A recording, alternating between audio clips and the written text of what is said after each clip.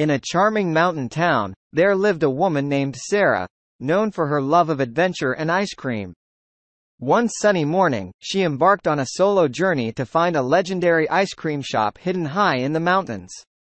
With her backpack filled with essentials, a map, and a cooler packed with ice packs, Sarah set out on her quest. The trail led her through snow-dusted forests and alongside babbling streams. The air grew colder as she ascended, but she couldn't be deterred. After several hours, she reached a clearing with a breathtaking view of the valley below. Sarah savored a scoop of ice cream, the sweet delight paired with the stunning vista. Follow for part 2.